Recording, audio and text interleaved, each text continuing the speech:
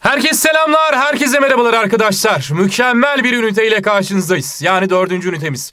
İlk ve orta çağlarda Türk dünyası yani Türklerin ata yurdunu ve Türklerin nereden geldiğini ve hangi olayları yaptığını birlikte inceleyeceğiz değerli arkadaşlarım. Hazırsanız hız kesmeden başlayalım.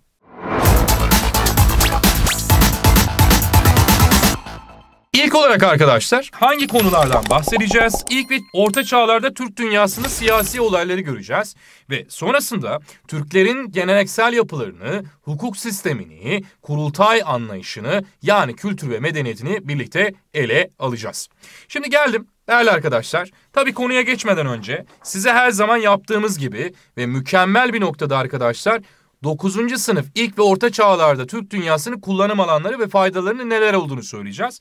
Türklerin ilk ana yurtlarının neler olduğunu, Türklerde kültür merkezleri neresi diyeceğiz ve Türklerde yaşam tarzını ve Türklerin dünyaya verdiği katkıları birlikte öğreneceğiz. Ama öncesinde tabii her zaman yaptığımız gibi ödevlendirmemize gelelim. Sıfırdan 9'a tarih konu anlatım soru bankası. Bu anlamda sana yardımcı olacak. Sayfa numaralarına bakalım. Sayfa numaraları da arkadaşlar 96'dan 122'ye kadar ne olacaksınız? Sorumlu olacağız. Hemen şöyle bir çevirdim. Şimdi burada görüyorsunuz arkadaşlar bakın güzel karikatürler var sizin için. Tabii ki soruları çözdün yapamadın mı? TATS kare koduyla okutuyorsun bu da sana her anlamda ne yapacak? Yardım sağlayacak. Sonrasında bunu bitirdim. Bitirdikten sonra da arkadaşlar hemen soru çözümlerine başlayacağım. Bu anlamda da 9. sınıf Dinamo Soru Bankası da sana yardımcı olacak. Orada ise arkadaşlar nerelerden sorumluyuz dediğimizde hemen bir bakalım. Geldim arkadaşlar. İlk ve Orta çağlarda Türk dünyası yani sayfa 105'ten sayfa 130'a kadar ne yapacaksınız? Sorumlu olacağız. Hadi bakalım kemerlerinizi bağlayın hız kesmeden başlayın. Şimdi ilk olarak arkadaşlar tabii ki Türk tarihine gelmeden önce Türk kelimesi ne anlama geliyor? Şimdi Türk kelimesiyle ilgili birçok ifade kullanılmış. Birçok arkadaşlar önemli tarihçi ve arkadaşlar önemli bilim insanları bu anlamda katkı sağlıyorlar bana. Türk adıyla arkadaşlar en çok kaynaklara nerede rastlıyoruz dersek Çin kaynaklarında rastlayacağız. Ve Çinliler Türkler için arkadaşlar miğfer lakabını kullanmışlar. Kaşgarlı Mahmut'a göre de diyor Türk kelimesi diyor olgunluk çağı anlamına ne yapmaktadır? Gelmektedir. Vemberi'ye göre ise arkadaşlar türemek anlamına gelecek. Ziya Gökalp'e göre ise töre ve kanun nizam sahibi anlamına ne yapmaktadır? Gelmektedir. Ama şimdi hocan sana soru sordu. Dedi ki Türklere ait yani ilk belgelere ve Türk kelimesiyle ilgili ilk kaynaklara nerede rastlıyoruz dediğimizde aklınıza kimler gelsin? Çinliler ne yapacak? Gelecek. Şimdi bir de unutma soruyu da değiştirdim. Türk adıyla kurulan ilk Türk devleti kimdir dediğimde de aklına kim gelecek dersem kök Türk devleti olarak ne yapacaksın? Bileceksin değerli arkadaşım. Peki Türk kelimesinin yanı sıra coğrafi ad olarak Türkiye kelimeleri neresi için kullanıldı? İlk olarak Türkiye kelimesi arkadaşlar Bizans kaynaklarında Orta Asya için kullanılmıştır. Bizans kaynaklarının yanı sıra Volga'dan Orta Avrupa'ya kadar uzanan sahaya da Türkiye adını vermiştir. Geldim yine çok enteresan olacak değil mi sizin için? Yine Mısır ve Suriye coğrafyası için de Türkiye ibaresi ne yapılmıştır? kullanılacak ve sonrasında 12. yüzyılda arkadaşlar itibaren Anadolu coğrafyasına Türkiye ismini vermeye başlayacağım. Türkiye ismi öncesinde ben Anadolu coğrafyasına Latince Anatolia ismini ne yapıyorum? Veriyorum. Şimdi geldim. Tabii ki bu kadim Türk milletinin Nerede yaşadılar? Hangi kültür merkezlerinde bulundular? Bundan bahsedelim. Şimdi Türklerin ilk yaşam yeri neresidir dediğim zaman aklınıza Orta Asya bölgesi gelecek. Orta Asya bölgesi arkadaşlar Bozkır iklimine sahip. Yani Türklerde Bozkır neyini göreceksiniz? Kültür yapısını göreceğim. Peki bu Bozkır kültür yapısında hangi kültür merkezleri var? Bunlara bakalım birlikte. İlk olarak Anav kültürünü göreceksiniz. Anav kültürü arkadaşlar Orta Asya bölgesinin en eski kültürüdür. Aklına direkt bu gelsin. Türk kültürünün önemli unsuru olan at ilk defa bu kültürde görülüyor. Yani atı ne yapmışım ben? evcilleştirdim. Geldim sonrasında devam ettim. Afanasyevo kültürü Türklerin en eski kültürü. Bak aradaki noktayı karıştırma. Anav dersem Orta Asya'nın en eski kültür merkezi, Afanasyevo dersem de Türklerin en eski kültür merkezi olarak ne yapılmakta? Bildirilmekte. Andronova kültürüne geldiğim zaman ilk tunç ve altın eşyalar bu kültürde rastlanmıştır ve Orta Asya'nın en yaygın neyi olarak bilinir? Kültür merkezi olarak bilinmektedir. Kelteminar dediğim zaman Türkler burada balıkçılık ve avcılıkla uğraşan bir kültür yapısına sahiptir. Karasuk kültürü sudan gelsin arkadaşlar aklınıza. Orta Asya'da ilk defa demir işletmeciliğine ne yapılmıştır? Karasuk kültüründe rastlanılmıştır. Ama hocan sana soruyu değiştir dedi ki Türklerin en yeni ve en gelişmiş kültür merkezi hangisidir derse aklına hemen hangisi gelecek? Tagar kültürü olarak ne yapacaksın? Söyleyeceksin arkadaşım. Şimdi geldim siyasi olaylara bakalım. Bakalım Türkler siyasi anlamda neler yapmış. İlk olarak Türk dünyasında ve tarihte arkadaşlar bilinen ilk Türk devletimiz kurulacak. Asya Hun Devleti diyorsunuz. Asya Hun Devleti'nin kurucusu kimdir dersem de aklına Tuman ya da diğer isminin aklında Teoman ne yapsın? Gelecek. Tabii 216 yıllara geldiğimizde Asya Hun Devleti Çinlerin parçala böl yok et politikasıyla tarih sahnesinde çekilecekler ve 370 yılında Avrupa Hun Devleti yavaş yavaş Avrupa'da Balamir Kağan önderliğinde kurulmaya başlayacak. 375 yılında Avrupa'daki barbar kavimler kavimler göçünü gerçekleştiriyor ve bugün Avrupa'nın ırklarını ne yapmaya başladılar? Oluşturmaya başlayacaklar. 496 yılında Avrupa Hun Devleti Atilla'nın ölümüyle birlikte taht kavgaları yaşamış ve tarih sahnesinden çekilmiştir. 552 yılına geldiğimizde ise Orta Asya bölgesinde 1. Göktürk Devleti'nin kurulmasını ve sonrasında 630 yılında 1. Göktürk Devleti'nin yıkılmasını göreceğiz. 1. Göktürk Devleti'nin yıkılmasının sonrasında 50 yıllık bir esaret sonrasında bir ayaklanma görüyoruz. Kürşat neyi diyeceksiniz? İhtilali arkadaşlar ve sonrasında 682 yılında Kutluk Kağan önderliğinde 2. Göktürk Devleti'nin kurulması gerçekleşecek. 742 yılında ise 2. Göktürk Devleti tarih sahnesinden çekilmiştir. 744 yılında ise Türk tarihinin ilk yerleşik hayatına geçen ilk Türk devleti olan Uygur Devleti'nin kurulmasını ve 840 yılında Uygur Devleti'nin tarih sahnesinden çekilmesini ne yapacağız? Göreceğiz. Şimdi ilk olarak geldim arkadaşlar. Tarihte bilinen ilk Türk devletimiz olan Asya Hun Devleti ya da diğer ismine Büyük Hun İmparatorluğu. Şimdi Hunlarla ilgili arkadaşlar ilk kaynaklarına nerede rastlıyorum dersem Çin kaynaklarında. Peki neden dersem? Çünkü Türkler arkadaşlar bu dönemde hep göçebe bir yaşam tarzına sahip ve hiçbir zaman yazıya ihtiyaç duymamışlar. Yazıya ihtiyaç duymadıkları için de hep sürekli mücadele ettiğim Çin kaynaklarında ne yapıyorum ben bunlarla ilgili bilgilere rastlayacağım. Şimdi unutmuyorsun her zaman söyledik tekrar da söyleyelim. Orta Asya'da kurulan ilk Türk devleti diyebileceğiz arkadaşlar. Ve aynı zamanda Orta Asya'daki Türk boylarını ilk kez bir bayrak altına ne yapmıştır? Toplamıştır. 26 tane boyu arkadaşlar tarih sahnesinde ilk kez bunlar ne yapıyor? Topluyor. Bilinen ilk hükümdarı kimdir? Tuman'dır. Ama biz bunu ne olarak bileceğiz? Teoman olarak bileceksiniz. Teoman arkadaşlar Çin kaynaklarında daha önce söylediğimiz gibi Tuman ismiyle ne yapılır? Bilinir. Yalnız burada arkadaşlar Teoman sürekli Çin'e sefer düzenliyor. Seferler sonrasında tabii ki Çin dayanamayarak bir set yapacak. Çin neyini yapmıştır diyorsunuz? Set dini ne yaptı? Yaptı. Bu da kime karşı üstünlük kurduğumuzun göstergesi, Çin'e karşı üstünlük kurduğumuzun göstergesi.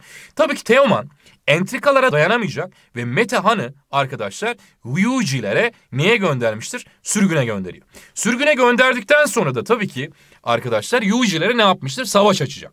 Savaş açması demek aslında Mete'nin ölüm neyidir? Fermanıdır. Mete bir fırsatını bularak Yujilerin elinden kurtulur ve sonrasında kendine sadık bir ordu oluşturur. Bu sadık orduya şunu söyler. Ben oku nereye atarsam siz de oku oraya atacaksınız. İlk olarak okunu atına atar, tereddüt edenleri ayırır. Sonrasında okunu eşine fırlatır, yine tereddüt edenleri ayırır. Buradaki peki temel amaç nedir dersek de kendine sadık bir ne oluşturabilmektir? Ordu oluşturabilmektir. İşte böyle bir mükemmellik yapan devlet hakanı Metehan devlete en parlak neyi yaşatacak dönemi yaşatmıştır. Peki neler yapmıştır dersek? İlk kez devlet teşkilatını oluşturacak Metehan. Yetmeyecek ilk kez Türk siyasi birliğini sağlamış ama ben buna Boylar Birliği Federasyonu diyeceğim. Yani ikili federatif yönetim olarak ne yapacağız? Bileceksiniz değerli arkadaşlar. Aynı zamanda danışma meclisini oluşturuyor. Yani kurultaydan bahsedeceğim. Ve bu adam ilk kez arkadaşlar vatan neyinden bahsedecek? Kavramından bahsediyor.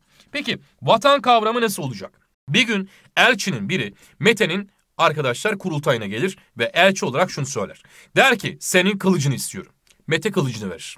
Tabii ki vazgeçmez. Elçi tekrar gelir. Geldikten sonra da bu sefer Mete'nin arkadaşlar atını ister. Mete tereddütsüz atını verir. Kurultaydakiler homurdanmaya başlar. Ne yapıyor bu Hakan diye. Yetmeyecek. Sonrasında yine elçi gelerek Mete'nin hatununu ister. Mete hatununu verir. Ve kurultaydakiler ne olduğuna bir türlü anlam veremez ve en son olarak elçi geldiğinde Türklerden toprak ister. Mete ayağa kalkar yine elçiyi kılıcını çektiği gibi ortadan ikiye böler. Ve kurultaydakilerine şunu söyler. Her şeyinizi verebilirsiniz ama bir karış vatanınızı asla diyecek arkadaşlar. Burada da vatan kavramından ilk kez ne yapmıştır? Bahsedecek. Şimdi sizin vatan kavramınızın yanı sıra ordunuzun da ne olması lazım? Güçlü olması lazım. O yüzden de Türk tarihinin ilk düzenli neyini kurmuştur? Ordusunu kuracak. Hatta arkadaşlar unutmuyorsun Kara Kuvvetleri Komutanlığı'nın kuruluş tarihi de Mete'nin milattan önce 209 yani ilk düzenli orduyu kurmasını ne yapmıştır? Bas alacak. Ordu da onluk sistemini oluşturuyor. Nedir onluk sistem dersek? Onbaşı, binbaşı, yüzbaşı gibi kavramları oluşturacak ki ben bu kavramları hala günümde ne yapmaktayım? Kullanmaktayım diyeceğim. Mete yetmeyecek. Çin'e sürekli akınlar düzenliyor. Birçok sefer düzenliyor. Çin diyor ki artık yeter Mete ne olursun yeter. Yeter ki sen diyor barışalım. Mete diyor ki tamam hay hay biz seninle barışalım kardeşim. Ne yapacağız peki o zaman? Senden diyor toprak almayacağım diyor Mete. Seni diyor neye bağlayacağım? Vergiye bağlayacağım. Peki niye Mete toprak almak yerine Çin'i vergiye bağlamıştır dediğimde aklına şu gelsin. Diyor ki eğer diyor ben Çin topraklarını alır da buraya kendi vatandaşlarımı yerleştirirsem zaman içerisinde kendi benliğimi ne yaparım? Kaybederim. Bu yüzden de arkadaşlar Mete kendi benliğini kaybetmemek için böyle bir politika izliyor. Şimdi sonra bu politikanın sonrasında Mete Çinli bir prensesle evleniyor. Çinli prenseslerle evlendikten sonra da tabii ki ister istemez arkadaşlar Çinlilerin entrigaları parçala, böl, yok et politikaların sonrasında bir sıkıntı yaşanmaya başlayacak ve devletin başına kim geçmiştir dersem de aklına Kiok diye ne yapsın? Aklına gelsin. Kiok arkadaşlar aman diyor kim uğraşacak bu işlerle falan filan derken tabii ki arkadaşlar mükemmel bir adam ortaya çıkıyor. Çiçi diye adlandırdığım bir kavram. Çiçi diyor ki Çin'in esareti altına girmeye Yerine bu diyardan göçmeyi yeğlerim. Peki Türkler niye göç etti bulundukları bölgelerden? Birincisi biliyorsunuz ki bozkır iklim, iklimimiz var. Bozkır iklimi arkadaşlar kurak geçiyor. O zaman sizin iklim şartlarının olumsuzluğu göçmenizin temel sebeplerinden bir tanesi. İki, biliyorsunuz hem Çin baskısı hem Moğol baskısı yine arkadaşlar dış devletlerin baskısı benim göç etmemi temel etkenlerinden bir tanesi. Yine salgın hastalıkların baş göstermesi ve arkadaşlar gök girsin kızıl çıksın düşüncesiyle Türklerin cihana yani dünyaya hakim olma menzumesi de önemli bir nokta. Peki başka ne söyleyebiliriz bununla ilgili? Yine arkadaşlar yeni yurtlar bulma, yeni meralar bulma düşüncesi de Türklerin göç etmesinin temel sebebi. Bakın unutmayın bir şeye dikkat çekmenizi istiyorum. Bazen arkadaşlar diyorsunuz ki kavimler göçünü kimler yapmıştır? Türkler yaptı. Hayır. Elendin. Kavimler göçünü Türkler değil, Türkler kavimler göçünü tetiklemiştir. Peki nasıl oluyor arkadaşlar? Bizimkiler Ötüken'de takılıyorlar. Ötüken'de takıldıktan sonra da diyorlar ki artık bizim bu diyardan göçmeyi ne yapmamız lazım? Yeğlememiz gerekiyor. Yeni yurtlar bulalım. Bu yurtların sonrasında tabii ki birçok alana dağılıyoruz. Şimdi kimisi Hindistan'a gidiyor, kimi Çin'in egemenliğine gidiyor, kimisi Sibirya'ya göç ediyor, kimisi İran bölgesine, kimisi Anadolu bölgesine. Ama bizi tetikleyen nokta neresi? Avrupa'ya göç eden Türkler. Balamir Kağan önderliğinde Hunlar arkadaşlar Avrupa'ya doğru ilerliyorlar. Bakın haritaya. İşte bu dönemde Saksonlar, Vandallar, Suveyler, Ostrogotlar, Vizigotlar, ondan sonra Gandallar, Franklar gibi topluluklar var. Bu topluluklar arkadaşlar Türklerin geldiğini gördükten sonra eyvah diyor. Kimler geliyor? Türkler geliyor. Kaçın, kaçın diyecek. Ve bunun üzerine tabii ki arkadaşlar bir domino taşı etkisini ne yapıyoruz? Göreceğiz. Bu domino etkisi de arkadaşlar tabii ki o dönemde bulunan Roma İmparatorluğunu etkileyecek ve Roma çat diye kaça ayrılacak? İkiye ayrılıyor. Doğu Roma ve Batı Roma olarak kaça ayıracağım ben?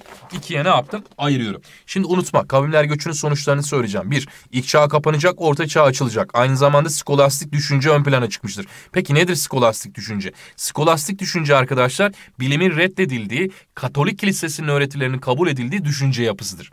Geldim bir diğer nokta nedir dersek, feodalite ya da diğer isminde derebeylik sistemi ortaya çıkacak. Merkezi krallıklar ne kaybetmiştir? Güç kaybetti diyeceksiniz ve aynı zamanda Avrupa ne kültürüyle tanışacak? Tabii ki Türk kültürüyle ne yapmıştır? Tanışmıştır diyeceksiniz. Şimdi arkadaşlar bakın unutmuyorsunuz. İki Fransız yan yana geliyor. Diyor ki Münubü subuple. Yani şimdi diyor ki Ben diyor hadi gelin diyor beraber diyor bir şey içelim. İki Alman yan yana geldiğinde what's das diyecek. Yani diyor ki gel kardeşim birlikte fabrika kuralım. Ama iki Türk yan yana geldiği zaman da diyor ki hadi gel kardeşim ne kuralım? Devlet kuralım. O zaman Türklerin teşkilatçı yapısı her zaman ne planda? Ön planda diyeceğiz. Şimdi Avrupa'ya gittik ve hangi devleti kuracağız? Avrupa Hun Devleti'ni kuruyoruz. Kavimler göçünden sonra Balamir Kağan komutasındaki Türkler tarafından Macaristan'da Avrupa Hun Devleti kurulmuştur. Unutmuyorsun Avrupa'da kurulan ilk Hun Devleti'dir arkadaşlar ve aynı zamanda Balamir'den sonra devletin başına Ulduz geçecek. Ulduz Bizans elçisine şunu söylüyor. Diyor ki güneşin doğduğu ve battığı yere kadar her yeri fetih edebilir. Bu da yine Bauldiz'in arkadaşlar fetihçi bir kafaya ve cihan hakimiyeti düşüncesi olduğunun açık ve net göstergesi. Ulduz yetmemiş, Türklerin Anadolu'ya ilk akınlarını ne yapmıştır? Başlatmıştır. Unutmuyorsun. Sana hocan soru sordu. Dedi ki Anadolu'yu ilk akınları kimler yapmıştır dersem de Avrupa Hunları yapacaklar. Ama bakın buraları vatan olarak görmemişler. Adana'ya gitmişler kebap yemişler. Trabzon'a gitmişler hamsi gömmüşler. Yine gitmişler Konya'ya gitmişler böyle Kırşehir'e gitmişler böyle gözleme yemişler. Ama hiçbir zaman vatan olarak görmemişler.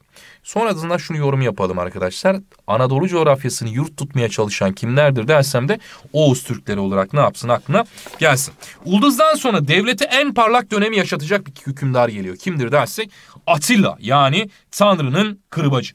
Atilla Batı Roma üzerine İtalya, Galya ve Doğu Roma üzerine ise 1. ve Balkan seferlerini ne yapmıştır? Başlatıyor. Sonrasında Bizans'la yapılan mücadeleler sonunda Margus ve Antalius anlaşmalarını imzalamış.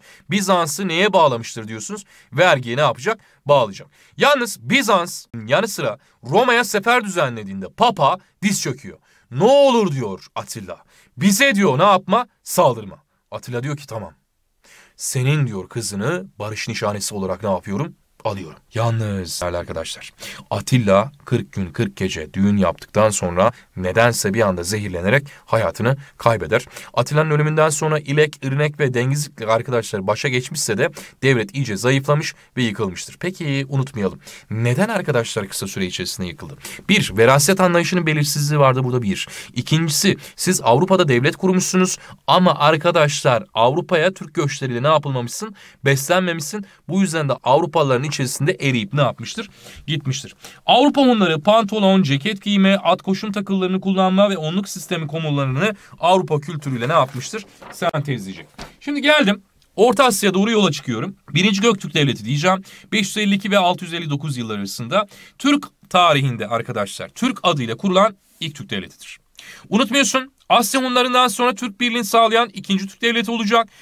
Unutmuyorsun bir kahramanlık yazdıysam o destane olmazsa olmazdır. Ergenekon ve arkadaşlar yine unutmuyorsun Bozkurt destanı da Göktürklere aittir ve Göktürkler Aşine soyundan ne yapar? Gelir. Aşina soyundan gelen Bumin Kağan devletin bilinen ilk neyidir? Kurucusudur. Bumin Kağan devleti bölerek yönetir. Doğuyu arkadaşlar Bumin Kağan yönetirken batıyı ise kardeşi İstemi Yagbu yönetir. Çünkü güneş nereden doğar? Doğudan doğar. O yüzden doğu nedir? Kutsaldır ve gök tanrı inancına göre de doğuyu Hakan yönetir. Batı ise kardeş Yagmu ne yapmakta? Yönetmekte. Şimdi Bumin Kağan ülkeyi ikiye böldü dedik. Sasanilerle ittifak kurak Akunları. Bizans'ta da ittifak kurarak ise Sasanileri zayıflatmış. Ha, o zaman yorum yapalım. Peki niye böyle bir güdüm güttü Göktürkler dersek? Amaç arkadaşlar İpek neyine sahip olmak? Yoluna sahip olmak için böyle bir iş ne yapmıştır? Gütmüştür diyorsun. Unutma Akunları yıktım ama Sasanileri zayıflattım. Bir de unutma Bizans'ta diplomatik ilişki kuran bir Türk devleti var mıydı? Hayır. İlk mi oldu? Hocan sana soru sordu. Bizans'ta diplomatik ilişki kuran ilk Türk devleti hangisidir dersem aklına hemen hangisi gelecek? Birinci Göktürk Devleti ne yapsın? Gelsin. Şimdi birinci Göktürk Devleti'nin en parlak dönemini ise kim yaşatacak? Mukan Kağan yaşatacak. Ve Tapo Kağan döneminde bir baskı dönemi var. Ve Tapo Kağan ısrarla Budizm inancını kabul edilmesini istemiş. Fakat bu durum kurultayda ne yapılmıştır? Reddediliyor. Şimdi arkadaşlar tabii ki Birinci Göktürk Devleti Çinlilerin entrikalar sonrasında yıkılıyor. Yıkıldıktan sonra da 50 yıllık bir kim esaretinden bahsedeceğiz? Çin esaretinden bahsediyoruz. Bu Çin esaretinden kurtulmak isteyen bir kahraman ortaya çıkacak. Kimdir dersek Kürşat ve Kırkçerisi. Kürşat şuna karar verir. Türklerin arkadaşları bağımsızlık fitilini ateşleyecektir. Amaç Çin prensini daha kaldırıp Türklerin bağımsızlık fitili ateşlenecek. Yalnız arkadaşlar her şey tıkır tıkır işler. Kürşat kendine 40 kişilik arkadaşlar mükemmel bir çeyre kurar. Yani ordu kurar. Bu 40 çeyresiyle birlikte Çin sarayını basmaya gider. Yalnız o gün beklenmedik bir olay gerçekleşir. Bardaktan boşalırcasına kadar yağmur yağar. Ama bizde ölmek vardır, dönmek yoktur. Bu dönemde Kürşat, Kırkçehrisi ile birlikte savaştıktan sonra Sarık Irmağa kapılarak hayatını kaybeder. Bu olay Türk obalarında dilden dile yayılır ve sonrasında Kutluk Kağan önderliğinde 2. Göktürk Devleti kurulmuştur. Sık sık ayaklanan Türkler 682'de Kutluk Kağan önderliğinde bağımsızlığını kazanacak ve Kutluk Kağan derlenen ve de toplayan bir kişiliğe sahip mi? Evet. Derleyen ve toplayan kişiliğe sahip olduğu için arkadaşlar İlteriş neyini alacak? Lakabını ne yapmıştır? Aldı diyeceğiz. Aynı zamanda Türklerde yazıyı ilk kez arkadaşlar ikinci Göktürk Devleti kullanacak. Tabii ki bu alfabeye ne diyeceğim dersem Göktürk alfabesi diyeceksiniz. Türklere ait ilk Türkçe yazılı belgelerde tabii ki Orhun neyleri olacak? Kitabeleri. Unutmuyorsun Orhun kitabeleri 3 kişi adına dikilecek. Kimlerdir bunlar dersek? Hemen diyorsun ki Bilge Kağan.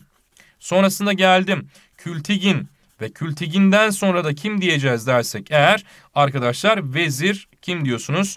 Ton Yukuk olarak ne yapılmakta? Bilinmekte. Ton Yukuk arkadaşlar Türk tarihinin ilk veziri olarak da ne yapılır? Bilinir diyoruz değerli arkadaşlar. Şimdi geldim daha uygar bir devlete. Kimdir daha uygar bir devlet? Uygur devleti. Neden uygar dedim? Şimdi arkadaşlar bakın ilk Türk devletlerinin geleneksel dinsel özellikleri nelerdir dersem akla şu gelsin. Genelde arkadaşlar hep gök tengri inancına sahipler. Ama Uygurlarda bir farklılık olacak. Nasıl bir farklılık olacak dersek. Bunlar arkadaşlar unutmuyorsunuz gök tengri inancını ne yapıyorlar? Terk ediyorlar. Aklında kalsın hemen ona döneceğiz. Şimdi kurucusu kimdir dersek Kutluk Bilge Kül Kağan'dır arkadaşlar. Başkentleri önceden Ötüken ise sonrasında tabii ki yerleşik hayata geçmeleriyle birlikte devletin merkezi Karabalasagun olmuştur. En parlak dönemleri ise Moyançur zamanı olacak. Moyançur'dan sonra tahta geçen Bögü Kağan Tibet seferi dönüşünde Mani dinini ve rahiplerle tanışarak Maniheizm dinini kabul ediyor resmen. Şimdi Maniheizm dinini ne olmuş dersek. Bir, diyor ki et yemeyeceksin. İki, diyor ki savaş yapmayacaksın. Üç, yaptığın her şeyi günlük neye tutacaksın diyor. Resme tutacaksın. Peki yorumlayalım. Et yemeyeceksin. Abi hatırlayın Türklerin yaşam tarzı nasıldı? Göçebe değil miydi? Et yemezsen ben ne yaparım? Ölürüm arkadaşlar. O zaman ne yemek lazım? Ot yemek lazım. Otu yemeniz için ne yapmanız gerekiyor? ekmeniz gerekiyor. Bu yüzden de adamlar otomatik göçemeyi bırakarak neye geçmişler? Yerleşik hayata gidecekler. Aynı zamanda savaş diyor ne yapmayacaksın? Yapmayacaksın. O zaman ben savaşçı neyimi kaybetmeye başladım? Özelliğimi kaybetmeye başladım. Günlük her şeyi resme tutmamda yine sanat anlamında da Uygurların gelişmesine sağlayacak. Uygurlar Maniheizmin etkisiyle hükümdarlarına Ay Tengri ünvanını verecekler. Kırgızlar tarafından yıkılan devlet Sarı Uygurlar ve Turfan Uygurlar olmak üzere iki kısma ne yapmıştır? Ayırmıştır. Peki genel özellikleri nelerdir Uygurların? Buna bir bakalım birlikte. Yerleşik hayata geçen ilk Türk neyidir dedik? Devletidir dedik. Türk tarihinin ilk şehirlerini ne yaptılar? Kurdular. Beşbalık, Ordubalık, Turfan gibi. Kağıt ve matbaayı kullanan ilk Türk devletidir. Hareketli ya da tahtalı harflerden kullanılır. Maniheizm inancında bazı terimleri Türkçe'ye çevirmişler. Ana hemen yorum yapalım. Demek ki arkadaşlar milliyetçi bir neye sahiptir? Karaktere sahiptir Uygurlar diyoruz. Mimari eserlerini tapınak, saray, ev ve benzeri bırakan ilk Türk devletidir. Töreyi yazılı hale getiren ve yazılı hukuk kurallarını oluşturan ilk Türk devletidir. Bir de unutmayın Moğolları ne yapmışlardır? Etkileyecekler ve Cengiz Han törelerini yazarken de kimden etkilenecek? Uygurlardan etkilenecek. Ciltçilik, freks ve minyatür sanatının ilk örneklerini tabii ki yine kimler veriyor? Uygurlar veriyor. Gök Tanrı inancını terk eden de yine ilk Türk neyi diyorsunuz? Devletidir. Ve aynı zamanda Türklerin ilk kez kütüphanelerinde ne yapmışlardır Uygurlar? Kurmuşlardır diyoruz değerli arkadaşlar. Hadi yorumlayalım. Yorum kısmını yapalım. Şimdi Türkleri yerleşik yaşamına geçmesini katlayan noktalar neler? 1. Tarımsal faaliyetler. 2. Sulama kanalları. 3. Su değirmenleri, tarım aletleri, tohumluk buğday ambarları, halktan toprak konut vergisinin alınması, mimari eserler, matbaa kullanılması, kitap ya da arşiv belgeleri, fresk, vitray ve minyatür gibi örnekleri görürsem bu da Türklerin yerleşik yaşama geçtiğinin açık ve net neyidir? Göstergesidir diyorsun değerli arkadaşım. Geldim. 3 önemli Türk devletini, 4 önemli Türk devletini gördük. Şimdi arkadaşlar gelelim diğer Türk devletlerimizde neler varmış bunlara bakalım. İlk olarak Avarlar ya da diğer ismine Juan, Juanlar diyeceğiz. Avarlar hem Asya'da hem de Avrupa'da ne kurmuşlardır? Devlet kuran bir Türk topluluğudur. Yine arkadaşlar unutmuyorsun Göktürkler Umi Kağan'ı isyan ederek Avarlar batıya doğru ne yapmıştır? Sürülmüştür. Bayan Han önderliğinde kurulacaklar arkadaşlar ve İstanbul iki defa ilk kez ne yapıldı? Kuşatıldı. Unutma İstanbul kuşatan ilk Türk devleti hangisidir dersem aklına Avarlar gelecek. Avrupa'ya üzengi yapımını öğretmişlerdir ve Hristiyanlığı kabul eden Avarlar Frankların sağladığı sonusu yıkılmıştır. Şimdi dikkatini vermeni istiyorum bir yere. Neden? Şimdi eğer unutma arkadaşlar hangi Türk devleti olursa olsun Hristiyanlığı kabul ettiyse hemen diyeceksin ki kendi benliğini ne yaptı diyorsun? Kaybetti diyeceğim. Bak nereyi kaybetmiş? Kendi benliğini kaybetmiştir. Ve zaman içerisinde de Avrupalı kavimlerin içerisinde eriyerek ne yapacak? Gidecek. Tekrar söylüyorum unutma aklından çıkartma. Eğer bir Türk devleti Hristiyanlığı kabul ediyorsa kendi benliğini ne yaptı? Kaybetti diyeceğiz. Şimdi geldim bir diğerine. Bulgarlara gelelim. Bulgar kelimesi arkadaşlar kelime anlamıyla karmaşık, karmaşıktır arkadaşlar. Kurucusu ise Kubrat'tır. Şimdi bakın İstanbul'u kuşatan arkadaşlar ilk Türk devleti kimdir dediğimizde aklınıza Avarlar geliyordu. Ama İstanbul'u ikinci kez kuşatan Türk devleti dediğim zaman da aklınıza kim gelsin? Bulgarlar gelsin. Şimdi Bulgarlar zaman içerisinde kendilerini iki gruba ayırmışlar. Tuna Bulgarları ve İtil Bulgarları. İtil Bulgarları için şunu söyleyeceğiz. İslamiyet'i kabul eden ilk Türk devletidir. Geldim Tuna Bulgarlarına. Tuna Bulgarları ise Hristiyanlığı resmi din olarak kabul etmiş. Durdur videoyu. Tekrar sor kendine. Hristiyanlığı kabul ettiyse kendini neyini kaybetti? Benliğini değil mi? Sesinizi duyar gibiyim. Süpersiniz. Şimdi o zaman arkadaşlar unutmuyorsun bunlar kendi benliklerini kaybetmişler ve han ünvanını kullanmayı bırakarak ne ünvanını kullanıyorlar? Çar ünvanını kullanıyorlar ve zaman içerisinde bunlar Slavlaşmıştır. Yani kısacası Ruslaşmaya ne yaptı? Başladı diyorsun değerli arkadaşım. Şimdi geldim Karluklara. Karluklar içinde İslamiyet kabul eden ilk Türk topluluğu diyeceksin. Bak devlet değil topluluk diyorum. Aynı zamanda Kutluk Devleti'nin yıkılmasında önemli bir rol oynayacak. Türk işlerin siyasi varlığına son vermişlerdir ve Moğollara itaat eden ilk Müslüman Türk topluluğu olarak ne yapılmakta Karluklar bilinmekte diyoruz. Geldim Kıpçaklar ya da diğer isminde Kumanlar. Kelime anlamı sarı saçlı ve öfkelidir. Ve bazı tarihçilere göre Türklerin en yakışıklı ve en mükemmel kavliyesi olarak ne yapılır? Bilinir. Codex Communex adında bir sözlük yapmışlardır. Bu ki bugün bu sözlük Venedik kütüphanesinde ne yapar? Yer alır. Oğuzlarla yaptıkları mücadeleler Dede Korkut hikayelerinde yer alacak. Ve Ruslarla yaptıkları Igor destanına ne yaptı? Konu oldu diyoruz. Geldim Peçenekler. Bizans ordusunda ücretli taraf almışlardır. Tabi benim işime yarayacak mı? Evet. Sultan Alparslan Anadolu coğrafyasına dayandığında Peçenekler Bizans ordusundan saf değiştirerek Selçuklu safına geçmiş ve böylece savaşı da Türklerin kazanmasında büyük bir rol ne yapmıştır? Oynadı diyoruz Peçeneklerle ilgili. Geldim Türk işlere. Para para para. Varlığı bir dert, yokluğu yara diyor Turgüşler. Yani aklına ne gelsin? Para gelsin arkadaşlar. Bilinen ilk hükümdarı Baga Tarkan'dır. Ve Baga Tarkan kendi adına para bastıran ilk Türk hükümdarı olarak tarih sahnesine geçecek. Ve aynı zamanda unutmuyorsun Sulukan zamanı ise İslamiyet'in Orta Asya'da yayılmasını ne yapmışlardır? Engellediler diyeceksiniz arkadaşlar. Kimi zamanındaymış? Sulkan zamanında İslamiyet'in Orta Asya'da yayılmasını Türk işler ne yapmıştır? Engelleyecektir. Geldim Macarlara. Fin Uygur kavimlerinin bir bölümü Karadeniz'in kuzeyinde Bozkırlara inilerek Ongurlarla kaynaşmıştır. Sonrasında tabii ki arkadaşlar Peçeneklerin baskısıyla batıya doğru göç edecekler ve Macaristan'a yerleşen Macarlar Hristiyanlığı benimseyerek kendi benliğini ne yaptı? Kaybetti. Geldim Oğuzlara. Oğuzlar Türklerin en kalabalık neyi olarak bilinir? Boy olarak bilinmekte ve 24 tane Oğuz neyinden bahsedeceğiz? Boyundan bahsedeceğiz ve birçok Türk devletinin kurulmasına öncülük etmiştir. İşte Kayı boyu, Kınık boyu gibi boyların yanı sıra Osmanlı, Büyük Selçuklu Devleti, Türkiye Devleti gibi birçok devletin kurulmasına da Oğuzlar öncülük edecekler. Bir de unutmuyorsunuz arkadaşlar Dede Korkut hikayeleri de kimlere aittir dersek Oğuzlara aittir diyoruz. Şimdi geldim Devletlerimi gördüm. Peki bu devletlerin yanı sıra kültür ve medeniyetleri nasıl arkadaşlar? Buna bakalım. Şimdi hükümdar oldunuz. Hükümdar olmadan önce de tabii ki ne almanız lazım? Ünvanlar almanız gerekiyor. Ben genelde ilk Türk devletlerinde Han, Hakan, Kaan, İlteber, Tanhu, Şenhu, İlteriş ve İdikut gibi ünvanlar ne yapmışım? Kullanmışım.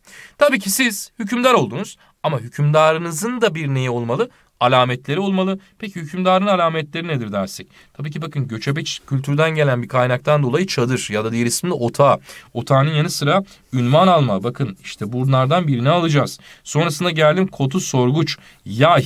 Daha sonrasında taht, nebet, sancak, tuğ gibi kavramları görürseniz bunlar hükümdarlık sembolüdür. Unutma ama Şimdi yayı gören öğrenci bazen diyor ki e hocam o zaman diyor ok da vardır. Hayır arkadaşlar ok yoktur. Ok hükümdarlık sembolü değildir. Sadece hükümdara bağlılığı ne yapar? Bildirir diyeceksiniz. Şimdi geldim eski Türk devletlerinde boyların bir araya gelmesiyle tabii ki vatan oluşacak. Yani devlet oluşur. İl ya da el oluşacak.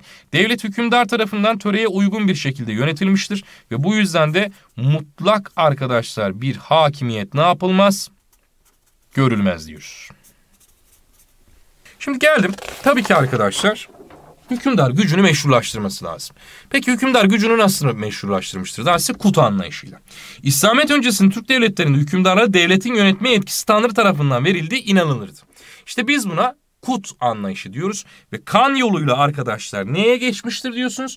Bir soya ve bir aileyi ne yapar hükümdarlık? Geçer. Bu da sürekli ne kavgalarına sebep olacak? Taht kavgalarına sebep oluyor ve devletin kısa ömürlü olmasına ne yapmıştır? Sebep olmuştur. Ama dikkat et.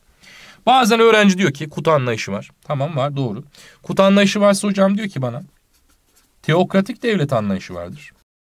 Ebe diyorum mükemmel. Diyorum ki bak bunu ben sildim.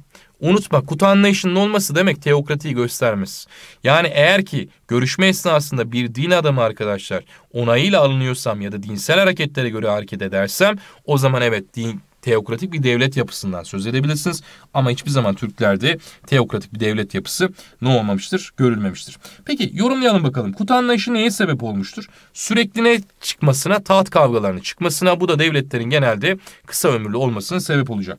Geldim uyarıya. Dikkat et. Bu aileler belli olup Hunlarda Tuku, Göktürklerde Aşina ve Uygurlarda Yağlakar gibi isimlerle ne yapılır? Anılır diyeceğiz.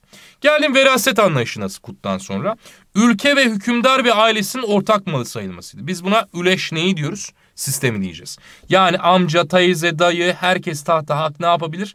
İddia edebilir. Bu da devletin yine nasıl ömürlü olmasına sebep olacak? Kısa ömürlü olmasına ne yapmıştır? Sebep oldu diyoruz. Şimdi geldim Biliyorsunuz ki devleti ne yaparak yönetiyordum? Bölerek yönetiyordum. Güneş nereden doğuyordu? Doğudan. O zaman benim için neresi kutsaldı? Tabii ki doğu kutsaldı.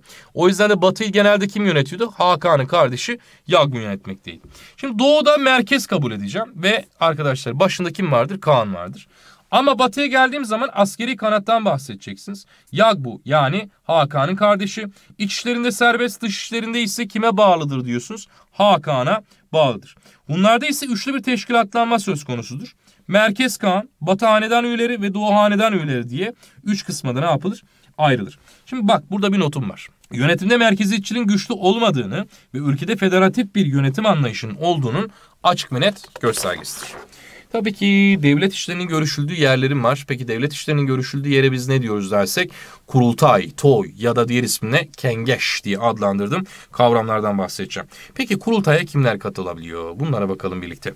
Tabii ki hükümdar ülkenin olmazsa olmaz arkadaşlar hükümdardır. Hükümdardan sonra da hükümdarın olması olmazı nedir? Hatundur ya da katundur arkadaşlar. Hatun da hükümdar görevleri içerisinde söz sahibi almaya yetkisine sahip. Tabii ki ülke arkadaşlar neydi? Boylar şeklinde örgütleniyordu. O yüzden de boy beyleri de katılacak. Ve ülke kimin malıydı? Hanedanın ortak malıydı. Ve hanedan üyeleri de arkadaşlar devlet yönetiminde söz sahibi olmuştur. Kurultay üyeleri içerisinde din adamlarının yer almaması İslamiyet öncesi Türk devletlerinde bakın tekrar söylüyorum teokratik devlet anlayışının olduğunu ne yapmaz? Göstermez. Ama mesela şuraya ok çıkartsaydım, şaman yazsaydım o zaman derdin ki evet hocam teokratik devlet yapısı var. Çünkü bu yönetime de din adamı ne yapmıştır? Müdahale etmiştir diyebiliriz. Peki toplumsal yapı nedir? Türklerde arkadaşlar anne baba çocuk diye bir kavram var. O yüzden de genelde çekirdek aile yapısını görürüz. Peki çekirdek aile yapısının en küçük birimine ne diyoruz dersek oguş ya da diğer isminde aile. Ailelerin bir araya gelmesiyle uruk ya da diğer isminde soy. Soyların bir araya gelmesiyle bot ya da boy. Boyların bir araya gelmesiyle bir millet yani budun oluşacak. Milletin de bir araya gelmesiyle il ya da el. Sizin tabirinizde devlet ne yapar? Oluşur. İslamiyet öncesi Türk tarihinde sınıfsal ayrılıklar oluşmamıştır. Bunun başlı temel sebebi nedir dersek göçebe yaşam tarzı, ortak mülkiyet anlayışı, toprakların devletin malı sayılması böylece toplumun arasında soylular sınıfının oluşmasını ortadan kaldırmıştır. Bunlar diyor ki oradan oraya göç ederiz, oradan oraya yeriz, varsa yeriz, yoksa da karnımız aç gezeriz. Ama kimseye de arkadaşlar minnet eylememeyiz diye bir kavramdan ne yapabilirim? Söz edebilirim. Şimdi bu yüzden de arkadaşlar sınıfsal bir ayrım ne yapmıyor? Oluşmadı dedik. Şimdi göçebe yaşam tarzının peki özellikleri neler? Şimdi temel sebebi arkadaşlar olumsuz iklim koşulları. Biz buna ne iklimi demiştik? Bozkır iklimi demiştik değil mi? Tarımın gelişmemiş, hayvancılık ve ticaret arkadaşlar temel geçim kaynağı. Ticaret dediğim zaman da aklınıza ha bir yol gelecek. Hangi yol dersek? İpek yolu ve bunun için sürekli mücadele ettiğim devlette kim olacak dersem Çinliler gelsin. Özel mülkiyet yoktu. Neden arkadaşlar? Çünkü sürekli göç ediyordum. Bu yüzden sınıflar farklıdan ne yapamam? Söz edemem. Savaşçılık özelliğinin gelişmesinde etkili bir yapıdır. Yani arkadaşlar ne ortaya çıkar? Teşkilatçı bir yapı ortaya çıkar Türklerde. Mimari gelişmemiş taşınabilir sanat ve çadır kültürü gelişmiştir. Konar göçerliğin bir sonucu olarak uzun süreli hapis cezası uygulanamamıştır. En fazlası ise 10 gün ama vatana ihanetin cezası ise ölümdür. Teşkilatçılık ve örgüt kültürü gelişti dedik. Türk tarihinin bir bütün olarak incelenmesi zorlanmıştır. Çünkü niye dersek eğer bu adamlar neye ihtiyaç duymuyor? Yazıya ihtiyaç ne yapmamışlar? Duymamışlar. O yüzden de Türklerle ilgili ilk belgeleri başka kaynaklardan ne yapmaktayım? Rastlamaktayım diyorum. Şimdi geldi hukuk sistemi nasıldır? Bakın unutmayın sadece bir hukuk var. Yani sadece neyden bahsedeceğiz? töre diyeceksiniz. Her şeyin ötesinde ne vardır? Töre vardır. Yani unutmuyorsunuz Türk devletlerinin siyasal ve sosyal hayatı töre adı verdiğim yazısız hukuk kuralları ne yapar? Düzenler. Şimdi törenin temeli gelenek ve görenektir. Hükümdar dahil herkes bu kurala uymak zorundadır. Hükümdar da buna uymak zorundaysa demek ki mutlak bir otoriteyi ne yapmış oluyorum? Engellemiş olacağım arkadaşlar bu sistem içinde. Peki törenin kaynakları nedir? Örf, adet ve gelenek, kurultayın kararları, Kaan'ın emirleridir. Peki Kutat Kubilay'a göre törenin değişme hükümleri nelerdir dersek? Törenin değişme hükümleri arkadaşlar adalet yani konilik, faydalık, uzluk, eşitlik, tüzlük, insanlık ve kişilik gibi kavramlar da töreyi oluşturur der Kaşgarlı Mahmut değerli arkadaşlar. Şimdi konu biterken neler öğrendik? İlk ve orta çağlarda Türk dünyasını, yine Türk dünyasında yaşanan siyasi olayları, kültürsel noktaları birlikte değindik arkadaşlar. Ve son olarak da ilk Türk devletlerinde kültür ve medeniyet, hukuk sistemi nasıl, ordu sistemi nasıl, veraset anlayışı, kut anlayışı nasıl diye bu kavramlardan tek tek ne yaptık? Bahsettik değerli arkadaşlarım. Şimdi her zaman yaptığımız gibi size bir mükemmel ödülü soru bırakıyoruz değerli arkadaşlarım. Cevapları yorum kısmına bekliyorum. Bir sonraki konuda görüşmek üzere. Kendinize çok iyi bakın. Hoşçakalın. İyi çalışmalar.